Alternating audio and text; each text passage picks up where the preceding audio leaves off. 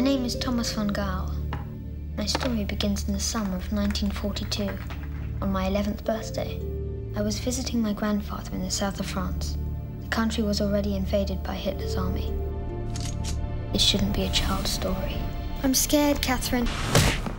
You're a traitor. You hide Jews' money and use it to help them flee Jews and other riffraff. If you don't talk, we will have to find your daughter Maria and question her. Mummy! But don't worry, we will give you a ringside seat to the show.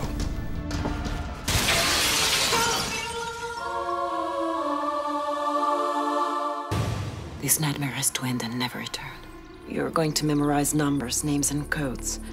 They give access to Swiss bank accounts, to the money we use to save many lives. And no sacrifice is too great.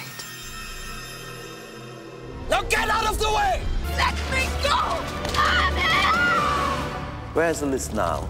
In whose mind? A mind that can easily conceive more than 50,000 game plans. We have to find that child. He'll play the spider. The spider? He's built his web. Now he'll sit and wait. Sooner or later we'll step on a thread and he'll feel the vibrations. German soldiers.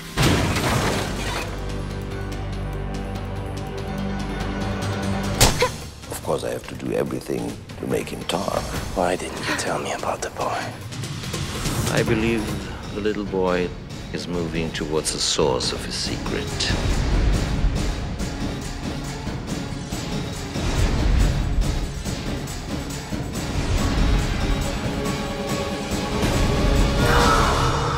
Everything your mother did, she did because she wanted a better world for you.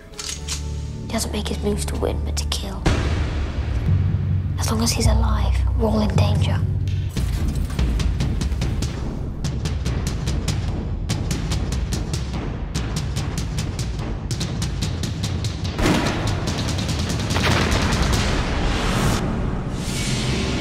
Aaron Joseph, code 007066. Hans Wetback, access Bach